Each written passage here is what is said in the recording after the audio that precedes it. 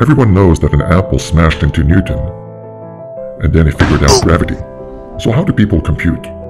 计算器啊，按计算器。一加一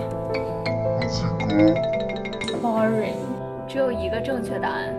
ubiquitous. That's what I do right now. 我觉得 AI 算法算是一种计算吧。 If you had a girlfriend, you would need to calculate how much you need to buy her new shoes and a purse. Ooh.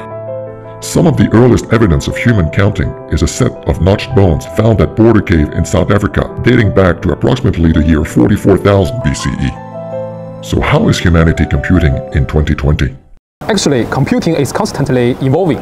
Originally, it was a rule-based calculation model, such as 1 and 1 is 2, which was used for sensors, trajectories, and other areas.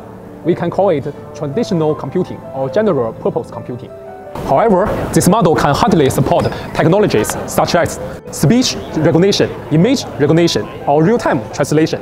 The good news is there is a new statistics-based computing model called AI computing model that can support the technologies we just mentioned.